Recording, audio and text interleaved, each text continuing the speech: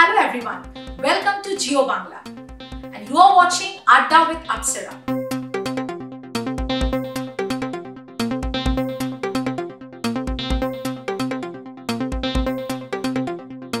Today we have with us one of the top 10 young generation directors who has made it big in the recent years A filmmaker, a documentary director, a certificate holder from the Harvard University on ancient masterpieces on world literature.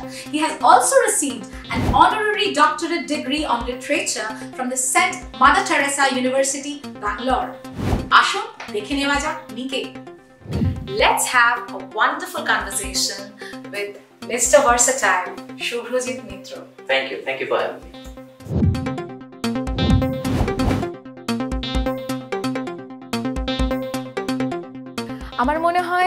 তোমাকে এটা বহুবার জিজ্ঞেস করা হয়েছে যে তুমি perhaps the only contemporary film maker যে পুরনো ক্লাসিক নভেলস নিয়ে কাজ করছ। আই গেস আই গেস এই মুহূর্তে না আমাদের যদি টলিগঞ্জে তুমি দেখো পুরনো ক্লাসিক লিটারেচার নিয়ে কয়েকজন কাজ করেছেন এর মধ্যে। যেমন রিসেন্টলি লালদারি একটা ছবি চলছে সুমন মুখোপাধ্যায় সৃজিৎ কিছু কাজ করেছে। বাট অন্য সাবজেক্টের সঙ্গে তারা ক্লাসিক লিটারেচার করে। বাট আমি শুধু ক্লাসিক লিটারেচার যেগুলো পিরিয়ড পিস রয়েছে সেগুলোর উপরই ফোকাসটা রাখতে চাই। মানে আই প্রেফার দ্যাট অ্যাকচুয়ালি সেটা আমাকে অনেক বেশি কিক দেয়। হ্যাঁ অনেক রিসার্চ ওরিয়েন্টেড কাজ হয় তো so that's the reason I suppose তোমার সোশ্যাল মিডিয়া পোস্টে কিন্তু টিনটিন হ্যারি পটার ভীষণ এভিডেন্ট তো কোনো স্পেশাল লাইকিং আছে তাদের প্রতি ছোটবেলা থেকে? সেটা তো ডেফিনেটলি আছে অ্যাজ ওয়েল অ্যাজ অ্যাস্ট্রোরিক্স তিনটেই। আর আমার এই নিয়ে অনেক ছোটবেলা থেকে অনেক কালেক্টেবলসগুলো আমি ওগুলো জোগাড় করতাম। পড়া তো সব কিছুই রয়েছে ডেফিনেটলি কিন্তু আমার ওই Harry Potter collectibles and Tintin collectibles এগুলো জোগাড় করতে খুব ভালো লাগে। সাজিয়ে রাখি সুন্দর করে।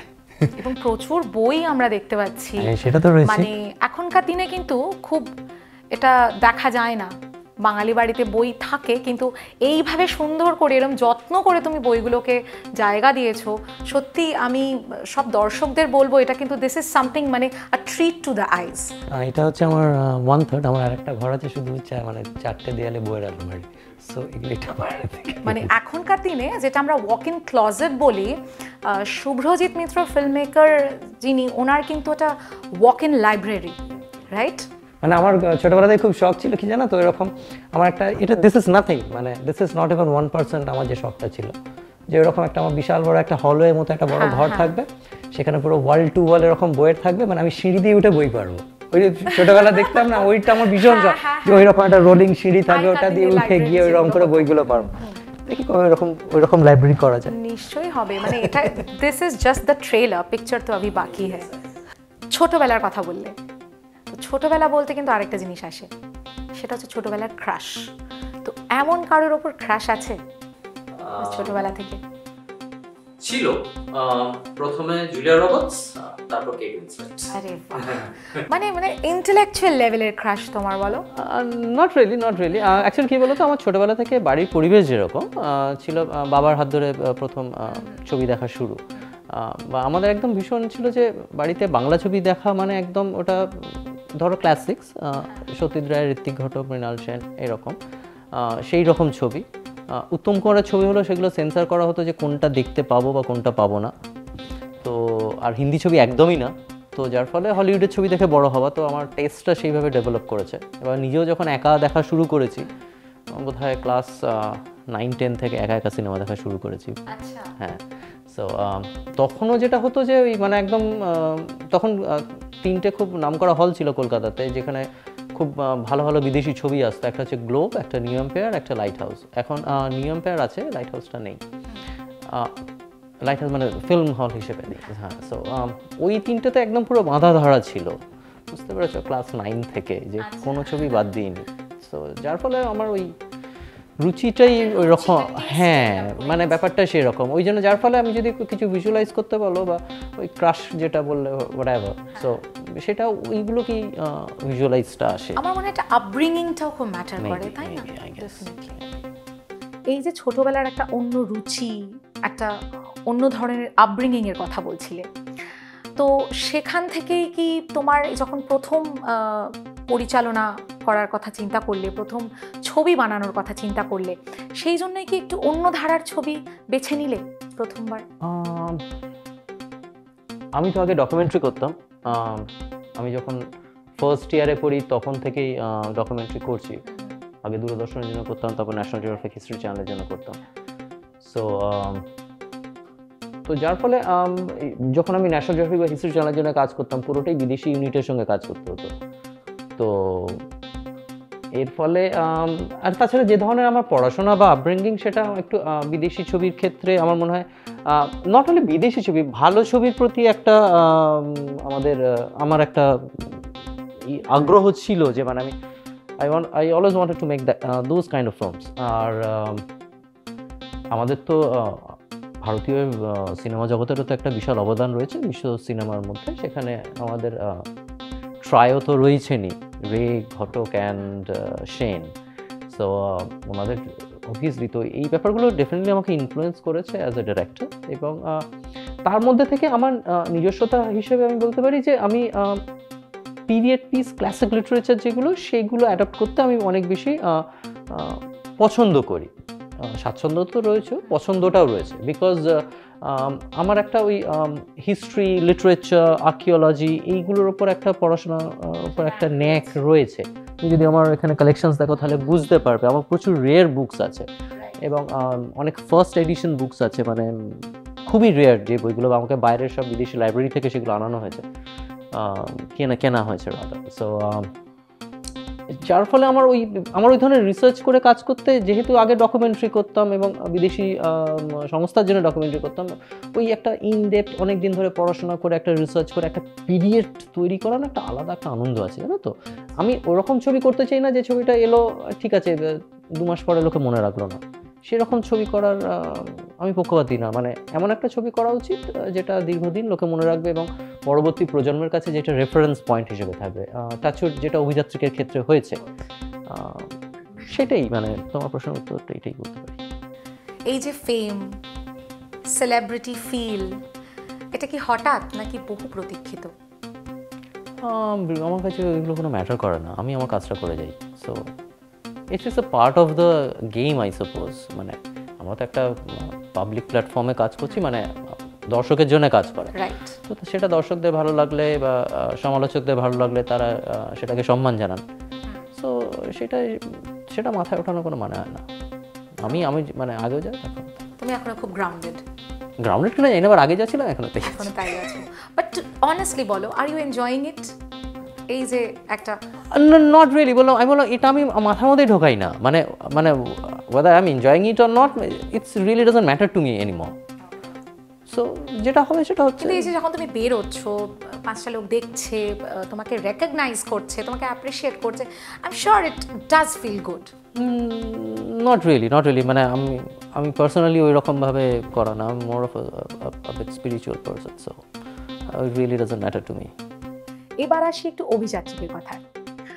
অভিযাত্রিক যখন তৈরি করছিলে এমন কিছু এক্সপিরিয়েন্স যেটা তুমি আমাদের দর্শকের সঙ্গে শেয়ার করতে চাইবে যে তোমার কমফর্ট জোনের বাইরে গিয়ে বা যেটা ধরো তোমার নেচার নয় সেরকমের বাইরে গিয়ে এমন কিছু করতে হয়েছে এমন কোনো এক্সপিরিয়েন্স Um, কিছু কিছু তো আছে ডেফিনেটলি আছে। Um, দেখো একটা ডিরেকশনে তো it's not only creative aspect এটা ভীষণ একটা একটা লজিস্টিক্যাল এবং একটা ম্যান ম্যানেজমেন্টেরও একটা বিশাল একটা বড় ব্যাপার বিকজ প্রায় দুশো আড়াইশো জন লোক আমার আন্ডারে কাজ করছে for a period of you know six months one year এবং একটা হিউজ একটা আমার এরকম দিন গেছে যে যেখানে আমাদের প্রায় তিনশো সাড়ে তিনশো এক্সট্রা মানে জুনিয়র আর্টিস্টরা কাজ করেছে। তো ইটস হিউজ একটা লজিস্টিক্যাল চ্যালেঞ্জ এবং একটা দেখো যারা ক্রিয়েটিভ লোক হয় তাদের তো সবারই কম বেশি একটা ইগো থাকে। তো একটা থাকে অবশ্যই। থাকে। এবং তারা যদি এটা তো ডিফারেন্ট ফিল্ডকে বা ডিফারেন্ট কি বলব সেগমেন্টস অফ ক্রিয়েটিভ ক্রিয়েটিভিটিকে অ্যাক্ট করে একটা সিনেমা করা হয়? ডিরেক্টরের আন্ডারে ডিফারেন্ট ডিফারেন্ট ডিপার্টমেন্টস কাজ করে। সবারই তার নিজস্ব ডিপার্টমেন্টটাকে বিশাল ভালোভাবে করতে চায়। সেটা অবভিয়াসলি তাদের প্রফেশনালি তারা সেটাই চায়। সেটা করতে গিয়ে অনেক সময় হয়ে যায় তারা হয়তো বাকি ডিপার্টমেন্টেরগুলোর সঙ্গে সিঙ্কে থাকে না। কারণ তারা তাদের পার্টিকুলার ডিপার্টমেন্টটাকে নিয়ে চিন্তা করছে। একমাত্র ডিরেক্টলি সব কটা ডিপার্টমেন্ট জানে। তো এই যে তাদের সিঙ্কে আনা তাদের ইগোটাকে হার্ট না করে তো এই ম্যান ম্যানেজমেন্টের ব্যাপারটা কিন্তু অনেকটাই মানে পার্সোনালি আমি হয়তো অতটা ম্যান ম্যানেজমেন্টে খুব একটা ভালো না বাট কিন্তু এগুলো করতে হয়। এবং তাদের সেই কমফর্ট জোনটা দিলে তবেই তারা ক্রিয়েটিভলি ভালো কাজটা করতে পারবে তাই না? আমার একার পক্ষে তো করা সম্ভব না। তো সেই জন্যই তাদের নেওয়া। তো সেই ধরনের তো প্রচুর ইনসিডেন্টস রয়েছে। মানে সেইগুলো একটা একটা এরকম একটা মনে হয় এরকম একটা কর্মযোগ্য এরকম একটা যদি চলে তাহলে এরকম ছোটোখাটো জিনিস হতেই থাকে এবং that's a part of the part of the entire process actually মানে তোমার প্রবলেম আসবে ট্রাবল আসবে you'll have to troubleshoot হ্যাঁ ওভারকাম করে তোমাকে absolutely so that's a part of the হবে। তো আছেই। তো মানে টিম নিয়ে একসঙ্গে কাজ করা মানে টিম ওয়ার্ক আমরা যেটা বলি সেটা কিন্তু ডিরেক্টরের উপরে সাংঘাতিক মানে কাঁধে একটা দায়িত্ব যে সবাইকে একসঙ্গে নিয়ে এগিয়ে চলা এবং একদমই, একদমই, you know working together as a team একদমই হ্যাঁ কারণ সেই ওই যেটাই বললাম যে মানে যাতে প্রতিটা টিম যেন তাদের বেস্ট আউটপুটটা দিতে পারে। Without going out sync with other department মানে এইটা ভীষণ মাথায় রাখতে হয়। মানে একটা ক্যামেরা ডিপার্টমেন্ট একটা ফাটাফাটি একটা কিছু একটা শট নিয়ে নিল এডিটিং ডিপার্টমেন্ট সেটা নিয়ে রাখতে পারল না শটটা। তখন কিন্তু ক্যামেরা ডিপার্টমেন্টকে জানতে হবে যে আমি কতটা অবধি শটটা নিতে পারব বা কতটা করতে পারব যাতে এডিটিংয়ে ওটা চপ অফ না হয়ে যায়। বা একটা আর্ট ডিপার্টমেন্টের সঙ্গে যেন সেটা সিঙ্কে থাকে। বা মিউজিক ডিপার্টমেন্টের সঙ্গে যেন সেটা সিঙ্কে থাকে। ভাইস ওয়ার্সা সব কিছুই মানে একটা ক্যামেরা ডিপার্টমেন্ট ফাটাফাটি একটা শর্ট নিল এডিটার সেটা চপ অফ করে ফেলে দিল জিনিসটা। সেটা নয় মানে বা সেই পুরো জিনিসটাকে সাউন্ড ডিজাইনিং ভাবে কীভাবে একসঙ্গে পরিস্ফুটিত করে তোলা। সব কিছু নিয়ে।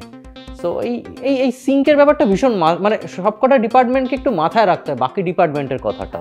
সেটার জন্যই মানে ডিরেক্টর রয়েছেন মানে যার কাছে প্রতিটা জিনিস মানে একটা ভালো ডিরেক্টর সেই হয় মানে যে একদম স্ক্রিপ্ট লেভেলের সময় মানে স্ক্রিপ্টটা লেখারও আগে যে ফাইনালি কি হতে চলেছে সেটা ভিজুয়ালাইজ করতে করতে পারে কানে শুনতে পারে। যে আমি কি অডিওগুলো শুনতে পাচ্ছি কি সাউন্ড ডিজাইনিংটা পাচ্ছি বা কি ভিজুয়ালস পাচ্ছি। সেইটা যে সব যত বেটার করতে পারে তিনি তত ভালো ডিরেক্টর ব্যালেন্স অ্যান্ড সিঙ্ক বললে তুমি। শ্রীলেখা শ্রীলেখাদি এবং অর্পিতাদিকে একই স্ক্রিনে আনলে তুমি এই সিঙ্কটা কি করে বজায় রাখলে? তারা তো প্রফেশনাল অ্যাক্টার্স তো ওই সব নিয়ে ভাবলে হয় না। আমার যাকে দরকার তাই সে তার কাজটুকু করবে। আর তুমি যদি সেই হিসেবে বলো they do not share a same screen space কারণ অপুর জীবনে পাঁচটা চ্যাপ্টার নিয়ে গল্পটা অভিযাত্রী। একটা চ্যাপ্টারে রয়েছে অর্পিতা লীলার যে ক্যারেক্টার প্লে করছে আর আরেকটা চ্যাপ্টার হচ্ছে রানুদি সুলেখা প্লে করছে। So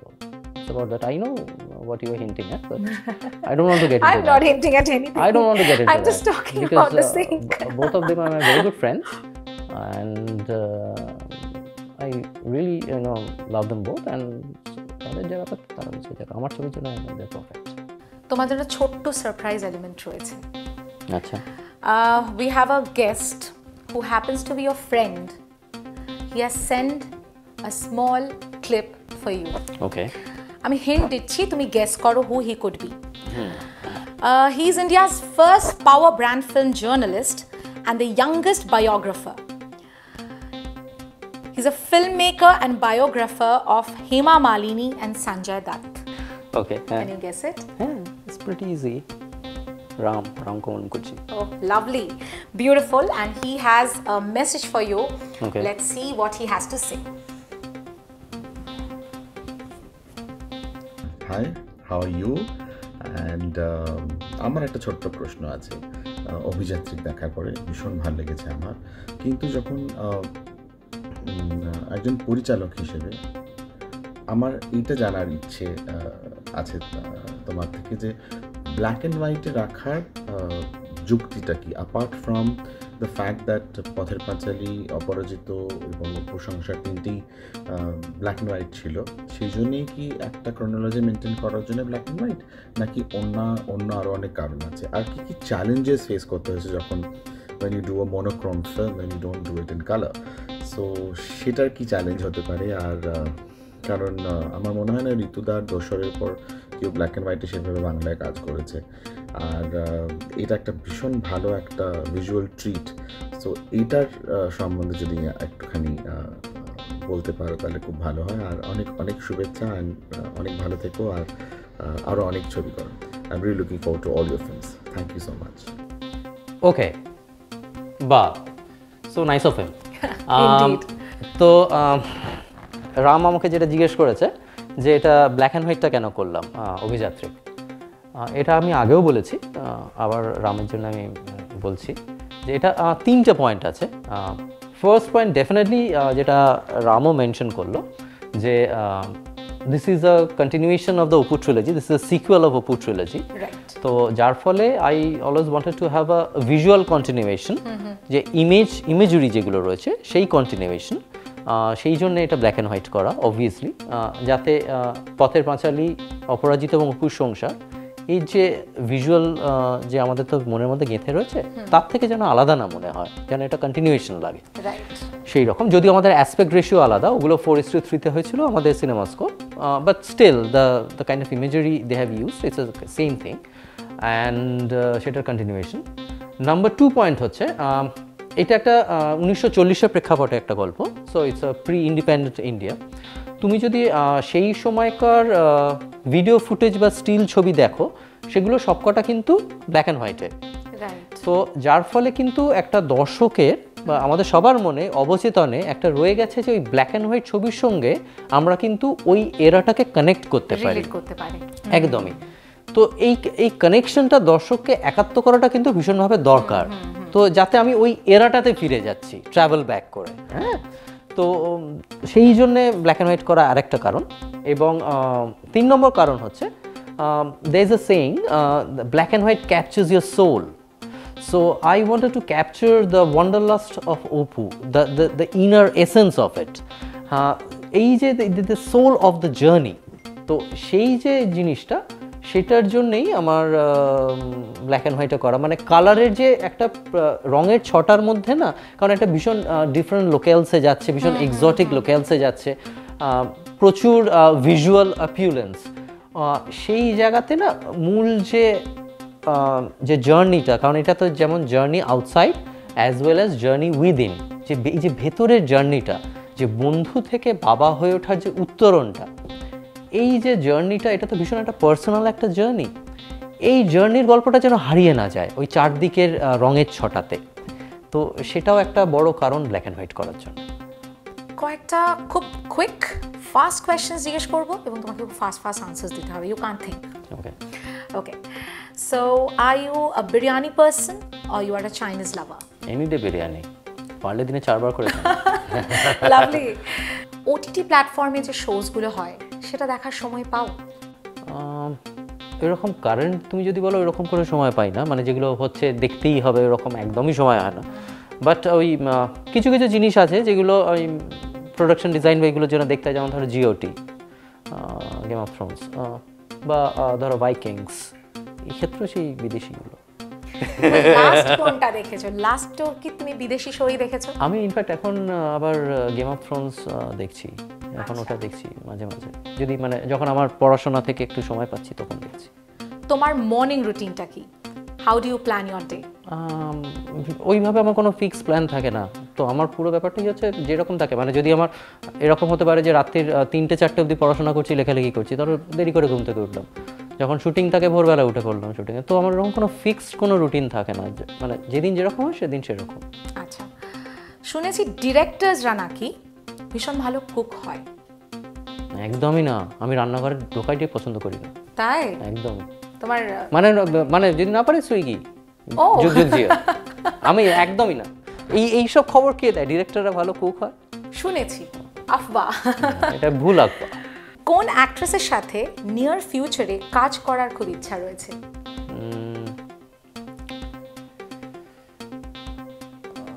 Wells, Kate Winslet, uh, Nicole Kidman. List is endless. Endless how about some Tollywood যখন যাকে মনে হবে আমার চরিত্রের প্রয়োজনে তার সঙ্গে কাজ করা যাবে এরকম করে কোনো এটা নিজে এর সঙ্গেই করতে হবে সো যখন আমার চরিত্রের প্রয়োজনে কাউকে লাগবে তাকে নেব মানে ওইরকম করে নিজে এর সঙ্গে কাজ করতেই হবে না হলে জীবন বৃথা না। লাইফের এমন কোনো সিক্রেট যেটা কেউ জানে না কিন্তু আজকে আমাদের সঙ্গে শেয়ার করতে চাও সিক্রেটই থাক না। তো কেউ জানে না তো কেউ জানবেও না। তাও আমার মানে ডান হাত কি করে বাঁ হাত জানে না? আমি সেটা ক্যামেরার সামনে? পাগল। এমন যাকে তোমার খুব হিংসে হয়। আমার তো বললাম তো আমার ওই ফিল্মটাই নিয়ে তুমি যেটা যে বলছিলে ওটা নিয়ে আমার যখন কোনো তাপ উত্তাপ নেই তাহলে কাউকে হিংসা করতে যাব কেন? Rate the directors one to five Srijit Mukherjee Kamaleshwar Chatterjee Kaushik Ganguly Shiboprosad Mukherjee and Subhrajit Mitra. আচ্ছা Steven Spielberg Martin Scorsese my question is not this তোমাকে তোমার কোয়েশ্চেনটার সঙ্গে রিলেট করে বলতে হবে। তাদের কাজের সম্বন্ধে সেভাবে ওয়াকিবহাল না হই মানে সেভাবে তাদের অ্যানালিসিস না করি কীভাবে উত্তরটা দেবো? তুমি তো ছবি দেখছ মানে আমি আমি তো দেখি না বাংলা ছবি। কিন্তু তুমি বাংলা ছবি বানাচ্ছো। I always wanted to make a film which is an international film, but which is happen to be in language Bengali. আমার যদি কালকে মনে হয় কালকে একটা হিন্দি ছবি বানাবো বা কালকে একটা উর্দু ছবি বানাবো সেই ল্যাঙ্গুয়েজটা সেটা ডিমান্ড করে বা যদি পরশুদিন মনে হয় এমন একটা সাবজেক্ট আছে যেটা সোয়াহিলিতে বানানো যায় আমি কোনো আফ্রিকান স্লেভসদের নিয়ে বানাচ্ছি তাহলে আমি সেই ভাষায় বানাবো। আমি এখন অবধি যে কটা ছবি বানিয়েছি সেটা বাংলা ভাষা ছাড়া সম্ভব না। যার জন্য আমার কাছে এরকমও প্রডিউসারদের থেকে বলা হয়েছিল যে অভিযাত্রীকে হিন্দিতে ডাব করে ন্যাশনালি যদি করা হয় তো আই হ্যাভ রিফিউজড যে বলছি এটা প্রিডমিনেন্টলি বাংলা একটা গল্প এটা সাবটাইটেল দিয়ে দেখানো হবে। কিন্তু ডাব করা হবে না eternal single or healthy flirting depend on my mood depend on my mood so um, I'm, I'm still uh, single so happy to be there in that space but you don't mind flirting oh, who does Last question. Okay. The one thing that you have but others don't. many things i guess মানে সেটা তুমি কি others বলতে তুমি কি- মিন করছ সেটা একটু আগে বলতে হবে। আদার্স মানে বাকি কারণ নেই। সেটা তো আমার ইন্ডিভিজুয়ালিটি অবভিয়াসলি সেটা তো প্রতিটা মানুষেরই। তোমার যেটা আছে সেটা কি আমার আছে? এটা একদমই বাট যদি ধরো আমি মিন করছি যে as film maker you have and others don't সব কিছু নিয়েই যে আমার আপব্রিঙ্গিং এবং নিজেকে যেভাবে তৈরি করা তার সঙ্গে আমার আইকিউ সেটা খুব কম আছে লোকের আছে বলে আমার মনে হয়। এটা এটা কিন্তু মানে বড়াই করা না এটা এটা সেলফ কনফিডেন্সের জায়গা। আমি নর্মালি ধরুন বলতে চাই না মানে আমার বলতে গিয়ে ওটা কেমন কিন্তু কিন্তু বোধ হচ্ছে বাট তুমি চাইলাম সেই জন্যই তো প্রশ্নটা করা। হ্যাঁ মানে বাট আমার মনে হয় এটা এটা আমার হয় সেটাই প্লাস পয়েন্ট আই অনেক অনেক ধন্যবাদ তোমাকে আহ, আড্ডা উইথ আপসারাতে আসার জন্য। দারুণ একটা কনভারসেশন হলো তোমার সঙ্গে এবং অনেক কিছু জানতে পারলাম একটা অন্য তোমায় চিনতে পারলাম। তো তার জন্য অনেক অনেক ধন্যবাদ। এবং দর্শকদের জানাব, আড্ডা বেতাপসারা কেমন লাগছে জানাতে ভুলবেন না। দেখতে থাকুন জিও বাংলা।